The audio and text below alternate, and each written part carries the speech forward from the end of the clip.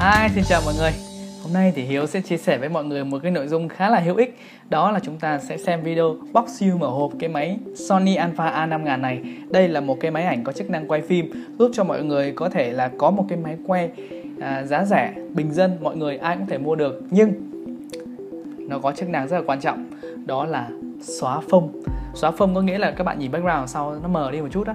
Thì cái nhân vật khi mà ngồi nói chuyện hay là cái sản phẩm các bạn quay á, nó rất là rõ ràng và chi tiết. Người ta sẽ chỉ tập trung vào cái khuôn mặt và cái cái cái sản phẩm của bạn mà thôi. Và đây là cái điều mà điện thoại không làm được. Chút nữa hiếu sẽ cho các bạn xem một cái hình chụp bằng điện thoại cũng cái cỡ cảnh như vậy. Thì nó sẽ khác nhau như nào nhé. Rồi, và cái dòng à, Sony Alpha A5000 này, đây à, Hiếu có thể tự hào nói với các bạn rằng đây là cái dòng máy mà cũ nhất của Sony bởi vì là bây giờ nó có 6000 này 6003 này rất nhiều các loại mới và cũng chính vì đây là một cái dòng mà tương đối cũ rồi cho nên là những cái video box siêu mở hộp của Alpha A5000 thì có rất nhiều ở trên mạng trên YouTube thì mọi người có thể search được. Thì hôm nay Hiếu không làm theo cái hướng là box siêu mở hộp thông thường nữa, chỉ có mở ra rồi giới thiệu linh kiện thôi. Thì Hiếu không làm như vậy. Hiếu sẽ hướng dẫn cách mọi người làm sao mà khi mọi người cũng mua cái máy này về thì chúng ta mở hộp ra sẽ biết cách sử dụng luôn tiết kiệm thời gian hơn. Bởi vì khi mà hiếu mở về ấy, mua mua về mà mở hộp ra thì mặc dù hiếu là một người biết về máy quay nha nhưng mà mở ra quá trời phụ kiện quá trời linh kiện quá trời sách hướng dẫn luôn. Hiếu lúc đó cũng hoang mang không biết nên dùng như nào. Thì với những cái người bình thường không quá dành về công nghệ họ sẽ còn mất rất nhiều thời gian hơn. Thì hôm nay hiếu sẽ hướng dẫn chi tiết mọi người cách sử dụng như thế để chúng ta tiết kiệm thời gian hơn nhé à, trước khi vào à, video chi tiết thì hiếu sẽ nói sâu qua một chút về giá của nó thì theo như hiếu tham khảo á, thì đến bây giờ cái giá của nó các bạn biết không? Nó chỉ còn khoảng 8 triệu mốt thì nó đã giảm đi rất là nhiều. Trong khi những cái công nghệ này vẫn chưa phải là quá cũ.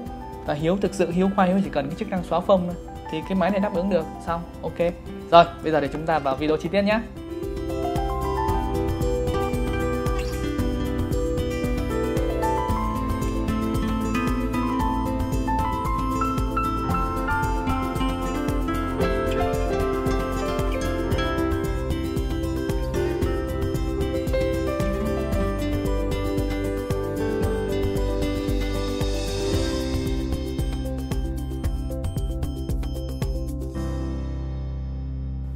Rồi, bây giờ đến cái bảo bối của chúng ta đây. Thì đây là cái hộp của nó, màu rất là đẹp đúng không? Và cái dòng Alpha này nó có cái màu đặc trưng là màu cam này rất là nổi bật. Kể cả cái túi nó có cái màu đó. Thì à, đây là cái bảo bối để mà giúp chúng ta có thể làm được một chức năng rất là quan trọng, đó là xóa phông nha các bạn. Tức là nhân vật nét và cái background sau mờ á.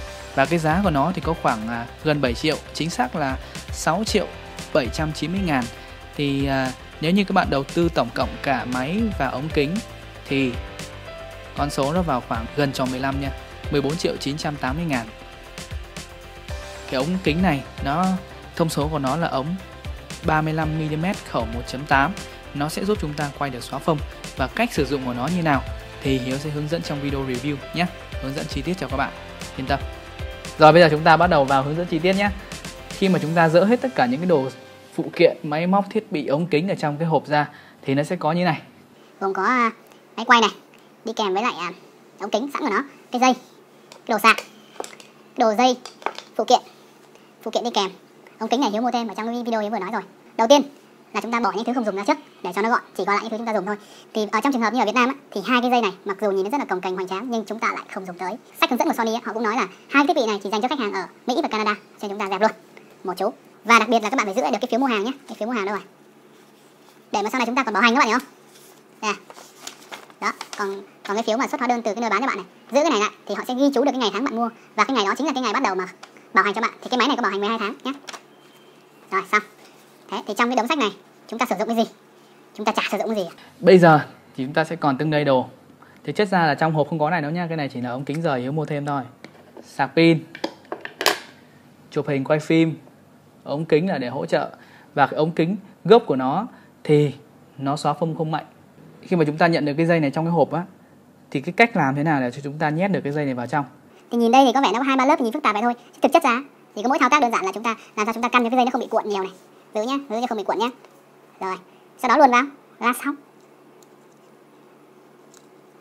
Luồn mà các bạn để ý là nó thường nó hay có những cái khớp của cái sợi dây ấy, thấy không hay có những khớp này. Chúng ta dùng cái khớp ấy luôn nhé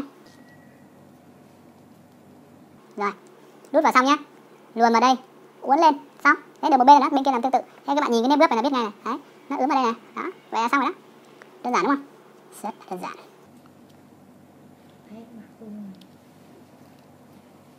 Rồi, xong. Tèn ten. Bên này tương tự. Rồi, tiếp theo. Đến cái phần mà sạc pin. bản thân mà mặc định đi theo máy họ chỉ có cái sạc cắm trực tiếp vào trong cái máy này và nó sạc pin luôn nhé thì cách sử dụng như này là chúng ta dùng cái dây có một đầu USB một đầu là đầu nhỏ để chúng ta chút nữa chúng ta cắm vào trong cái máy chúng ta cài như này nhé rồi và chúng ta lấy cái dây mà nó giống như vừa nãy hai cái dây hầm hố chúng ta bỏ đi ấy. nhưng ở đây cái đầu này nó phù hợp với điều kiện ở Việt Nam chỉ có hai cái chấu này thôi cắm vào đưa vào nốt đầu còn lại rồi Rồi, cái đầu này nhé. Một cái đầu này cắm ổ điện này. Cắm cẩn thận ông điện giật nha. Còn đầu này cắm vào cái máy ảnh. Hiếu cắm cho các bạn xem nhé. Đó, đây, nó có hai cái lỗ chúng ta cắm lỗ trên này. Thì cái nào vừa chúng ta cắm. Bạc. Thì khi mà chúng ta cắm vào điện rồi á nếu như mà pin chưa đầy thì nó sẽ hiện một cái đèn vàng ở đây báo hiệu cho các bạn biết là pin chưa đầy. cái thời gian để mà sạc pin á, trung bình là 310 phút nha là nó vào khoảng hơn 5 tiếng á. thì tốt nhất là cái ngày mà các bạn định quay thì các bạn à, sạc trước đi vào đêm ngày hôm trước đi nhé chúng ta ngủ một giấc khoảng 5 6 tiếng ấy, là vừa đủ để mà pin nó đầy để hôm sau chúng ta có thể quay thoải mái được. Rồi bây giờ chúng ta đến cái phần rất là quan trọng này đó là tháo lắp ống kính. Cái phần này rất là quan trọng nha bởi vì nếu như mà chúng ta à, vô tình chúng ta không biết cách ấy, thì nhiều khi chúng ta sẽ làm hư cái máy đó mà chúng ta không biết đâu. Đây này hiếu nhắc các bạn nhé quan trọng nhé. Đầu tiên muốn tháo ống kính ra chúng ta bấm vào cái nút ở đây. Nó có một cái nút ở đây này. Bấm vào nha bấm vào. Sau đó xoay cái ống kính theo ngược chiều kim đồng hồ nha ngược chiều kim đồng hồ nha. Rồi sau đó chúng ta để ra.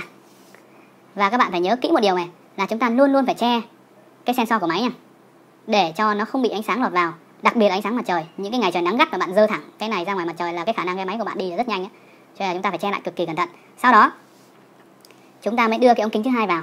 Bây giờ nhiệm vụ của các bạn rất là đơn giản. Đó là chúng ta để cái chấm trắng ở trên cái ống kính và cái chấm trắng ở trên cái máy. Hai cái nó khớp vào nhau. Thì khi mà hai cái chấm này nó khớp vào nhau thì chúng ta đưa cái ống kính vào rất là dễ dàng. Sau đó chúng ta vặn theo đúng chiều kim đồng hồ nha. Đó, nó kiểu cọc một cái là ok. Là gãy rồi đó. Hiểu đùa không phải đâu. Nó nó nó nó kêu như vậy là ok, ống kính đã vào khớp 100% với máy và có thể sử dụng được rồi. Rồi, vừa nãy thì các bạn đã xem được chi tiết cái cách sử dụng khi chúng ta mở hộp Sony Alpha A5000 mới mang về thì chúng ta nên sử dụng như nào cho nhanh. Cách à, đeo dây máy như thế nào, cách sạc pin, cách sử dụng phụ kiện như nào cho phù hợp nhé. Thì à, À, trước khi mà kết thúc cái, cái video review này thì Hiếu xin trả lời có một số bạn hôm bữa hỏi Hiếu là cái sự so sánh giữa Alpha A5000 và A6000 này nó có gì khác nhau? Thì à, chút nữa cuối video Hiếu sẽ hiện ra một cái bảng so sánh chi tiết giữa Alpha A5000 và 6000 tuy nhiên là Hiếu cũng nói trước cho mọi người biết là à, không biết những người khác như nào nhưng mà cái quan điểm mà làm video của Hiếu á, là nếu như thực sự bạn có cái tư duy tốt về video tư duy tốt về mặt hình ảnh thì kể cả là bạn có trong tay chỉ là một cái điện thoại di động thôi thì bạn vẫn có thể có được video tốt chất lượng tốt cho nên chúng ta chỉ coi máy móc là công cụ để mà hỗ trợ cho chúng ta làm được video hay hơn thôi nhé. Không lạm dụng máy móc nhé. Đẹp hay không hay hay không là do chúng ta. Ngày trước hiếu có video quay bằng điện thoại luôn á mà quay thành phim ngắn luôn. Video sau thì hiếu sẽ chia sẻ kỹ hơn về cách sử dụng tận dụng tối ưu những cái công nghệ mà chúng ta đang nhìn thấy ở đây. Đó là ISO như nào à, độ phân giải như nào flash như nào hay là có cái quan trọng nhất á, là chức năng wifi vậy đó, đây là những cái điều rất là lợi hại và hiếu sẽ hướng dẫn cho các bạn trong những video chi tiết về Sony Alpha A5000 và xin cảm ơn mọi người đã dành thời gian để theo dõi video này. Xin chào và hẹn gặp lại. Bye bye.